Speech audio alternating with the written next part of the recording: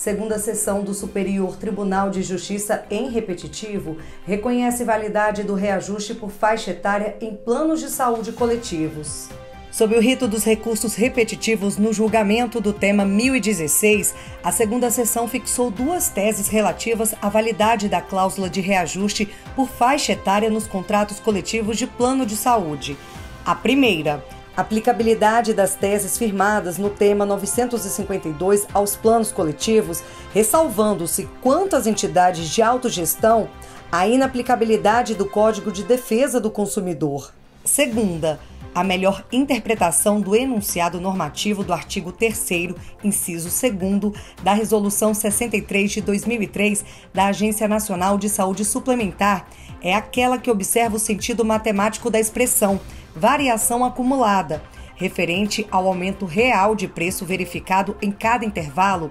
devendo-se aplicar para sua apuração a respectiva fórmula matemática, estando incorreta a simples soma aritmética de percentuais de reajuste ou o cálculo de média dos percentuais aplicados em todas as faixas etárias. O relator ministro Paulo de Tarso Sanseverino lembrou que o STJ já estabeleceu tese sobre a validade dos reajustes por faixa etária aplicável aos planos individuais ou familiares. No julgamento do tema 952, a segunda sessão definiu que o reajuste de mensalidade fundado na mudança de faixa etária do beneficiário é válido desde que haja previsão contratual sejam observadas as normas expedidas pelos órgãos governamentais reguladores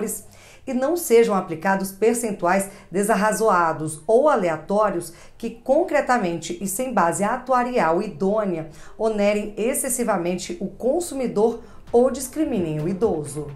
Segundo o ministro, as razões de decidir do respectivo recurso repetitivo contêm argumentação abrangente e, por isso, o entendimento passou a ser aplicado no STJ por analogia aos planos coletivos. Para o relator, a única ressalva a ser feita diz respeito aos planos operados na modalidade de autogestão, aos quais não se aplica o CDC de acordo com o enunciado da súmula 608 do STJ.